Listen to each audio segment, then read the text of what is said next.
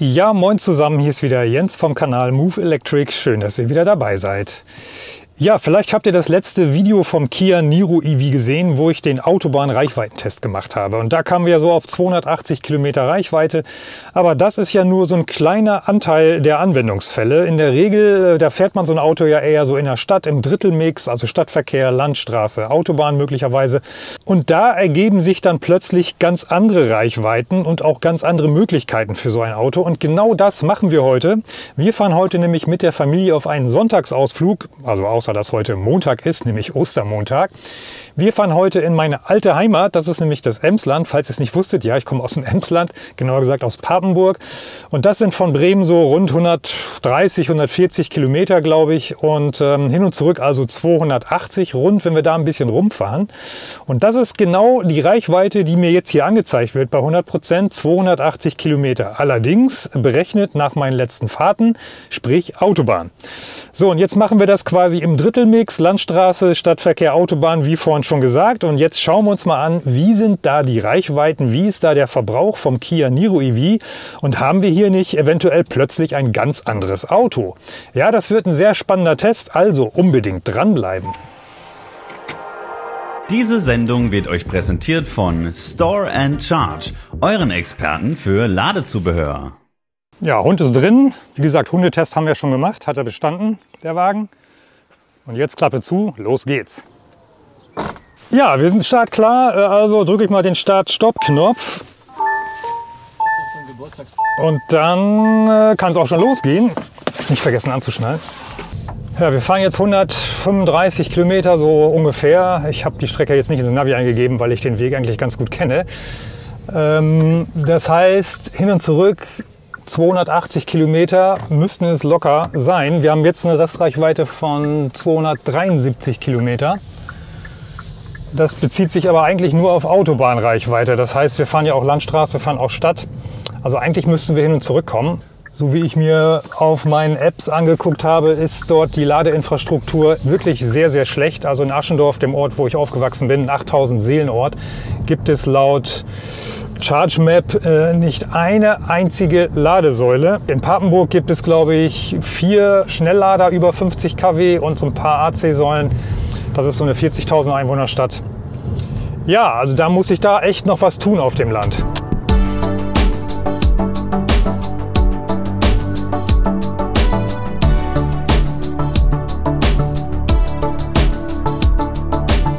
Ja, wenn man so auf der Landstraße bzw. dem Autobahnzubringer mit 80 hier äh, lang zuckelt, dann haben wir doch mal ebenso knappe 15 Kilowattstunden an Verbrauch. Und äh, wir haben jetzt schon fast 10 Kilometer Reichweite dazu gewonnen. Wir haben jetzt 263 Kilometer Reichweite, also 9 Kilometer verloren. Aber wir sind schon 21 Kilometer gefahren. Also haben wir eigentlich 12 Kilometer dazu gewonnen. Wahnsinn. Also je länger wir fahren, desto mehr Reichweite kriegen wir. Ist das nicht geil?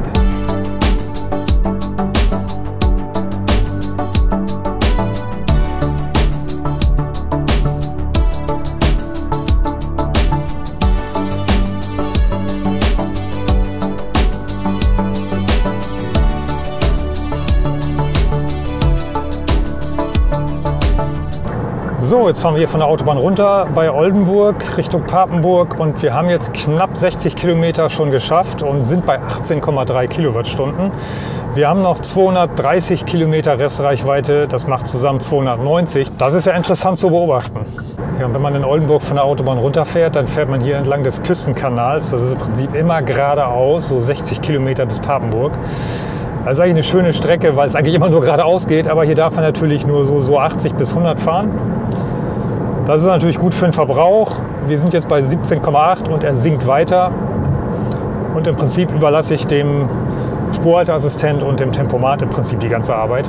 Die Verkehrszeichenerkennung funktioniert eigentlich super hier. Manchmal jedoch, da will er irgendwie die Zeichen, die vielleicht ein bisschen weiter weg von der Straße stehen, doch nicht erkennen. Was aber wirklich schön ist, ist, dass der Tempomat dann beim erkannten Verkehrszeichen bei der Geschwindigkeit die entsprechend anpasst. Da muss man gar nichts machen, das passiert automatisch. Das ist doch wirklich sehr bequem. Also ich bin von der Effizienz hier vom Niro EV echt ganz angetan. Wir haben jetzt 80 Prozent im Akku, also 20 Prozent verfahren und wir sind knapp bei 80 Kilometer Strecke. Das heißt 10 Prozent 40 Kilometer, also 100 Prozent 400 Kilometer. Und äh, das im Autobahn-Landstraßen-Mix mit dem 64 Kilowattstunden Akku. Also Respekt. Ja, hier entlang des Küstenkanals sind auch riesige Moorflächen, die sie bis vor kurzem noch äh, quasi, wo sie den Torf abgebaut haben. Und jetzt äh, sind die quasi alle äh, stillgelegt, die Abbauflächen. Und die Moore werden wieder rekultiviert, um der Natur wieder Raum zu geben. Das finde ich richtig gut. Das sind wirklich riesige Flächen, Quadratkilometerweise. So muss das sein, denn Moore binden ja auch extrem viel CO2, falls ihr es noch nicht wusstet.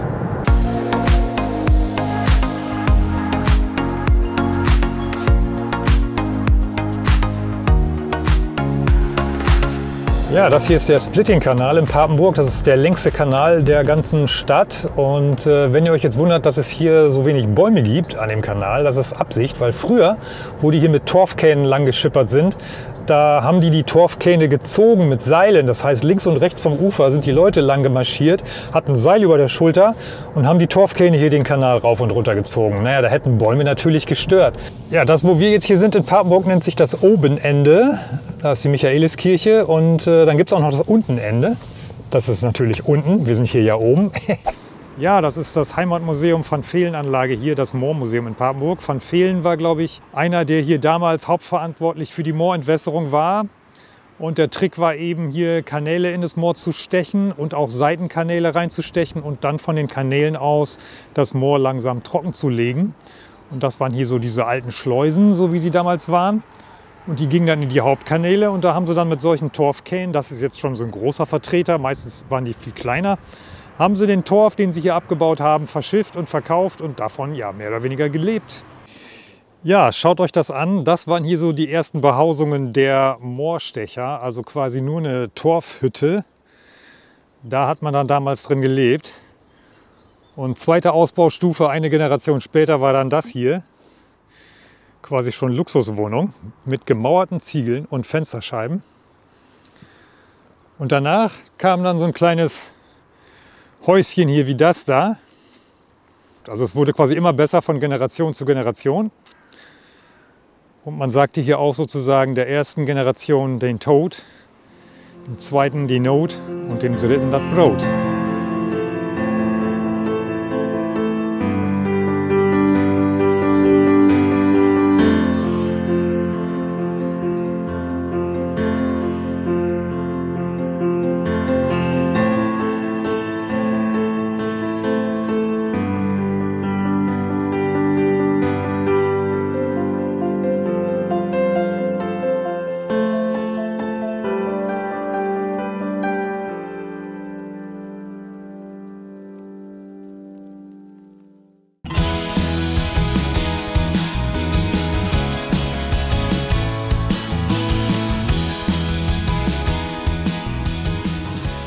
Ja, man nennt Papenburg auch das Venedig des Nordens. Kein Wunder, hier gibt es wirklich jede Menge Kanäle.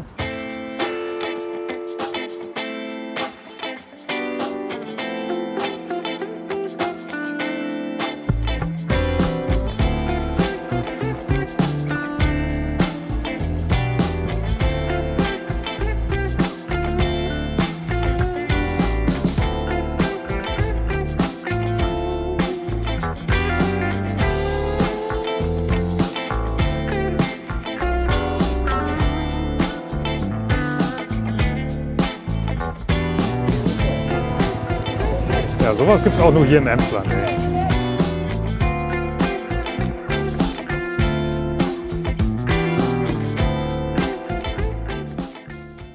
Ja Leute, das war Papenburg. Ähm, hier habe ich, weiß ich nicht, 10, 15 Jahre gewohnt. Und jetzt fahren wir nochmal nach Aschendorf. Das ist so ein eingemeindeter Vorort. War früher mal Kreisstadt vom Landkreis Aschendorf-Hümmling. Lange ist es her. 80er Jahre Gemeindereform wurde es zum Landkreis Emsland. Und äh, das ist ungefähr fünf Kilometer von hier. Und da bin ich groß geworden. Und das gucken wir uns jetzt nochmal an, wie das jetzt aussieht. 8000 Seelendörfchen. Ich vermute mal, es ist ziemlich tot. So Leute, das ist meine alte Wirkungsstätte. Hier bin ich quasi als ganz kleiner Steppke jeden Tag rumgerannt. Das ist in Aschendorf die Kirchstraße. Und so kann man das sehen. So sah das früher mal aus. Das war früher zu meiner Zeit, also irgendwie Ende 60er, Anfang 70er. Und das ist es heute. Ja, hat sich doch einiges verändert. Nicht alles, aber einiges. Ja, das ist das Schloss Altenkamp. Hier hat der alte Van Velen gewohnt, tatsächlich, der quasi die Papenburger Moorkolonie angelegt hat. Das war so im 17. Jahrhundert, das hier ist about 1728. Ist jetzt natürlich im Besitz des Landkreises. So, das war Aschendorf. Äh, da ist man schnell durch. Es ist ja nicht so groß hier. Wir haben 130 Kilometer gefahren, 189 Rest. Das heißt, wir laden auf gar keinen Fall. Wozu auch? Und wir haben noch, wie viel Prozent? 69. Also total locker.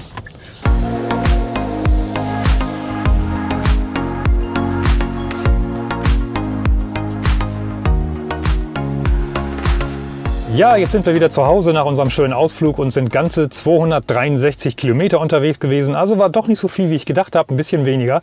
Aber wir haben noch 97 Kilometer Restreichweite und einen Durchschnittsverbrauch von, haltet euch fest, 16,7 Kilowattstunden. Und ihr habt ja gesehen, wir sind teilweise Autobahn gefahren. Das waren so ungefähr 25, 30 Prozent der Strecke. Wir sind ein bisschen durch den Ort, durch die Stadt gefahren und eben auch sehr viel Landstraße. Und plötzlich haben wir eine Reichweite mit dem Kia Niro EV von von über 360 Kilometer. Und wir haben noch 35 Prozent im Akku gerade. Also das sind doch plötzlich ganz andere Werte als auf der Autobahn. Und da äh, ist dann so ein Auto plötzlich extrem alltagstauglich, weil ich wirklich ganz, ganz selten damit laden muss. Und da ist natürlich die langsame Ladeleistung, die wir im ersten Video gesehen haben, möglicherweise gar nicht so entscheidend. Ja, Fazit von so einer Alltagsstrecke im Drittelmix ist also Reichweiten von Elektroautos auch mit einem kleineren Akku, der hat ja den 64 Kilowattstunden Akku hier, die sind im Prinzip völlig alltagstauglich und man kommt im normalen Alltagsbetrieb locker die 350, sogar eventuell 400 Kilometer, wenn es noch ein bisschen wärmer wird. Und das reicht doch wirklich völlig aus, wenn man dann zweimal im Monat lädt im normalen Alltag. Und das ist ja nun wirklich echt kein Problem. Ja, ich hoffe, das Video hat euch wieder gefallen und wenn ja, dann gebt mir einen Daumen nach oben und wenn ihr es noch nicht gemacht habt, dann abonniert gerne meinen Kanal Kanal. Dann sehen wir uns hoffentlich beim nächsten Mal. Würde mich freuen, wenn ihr wieder dabei seid. Bis dahin, macht's gut. Ciao.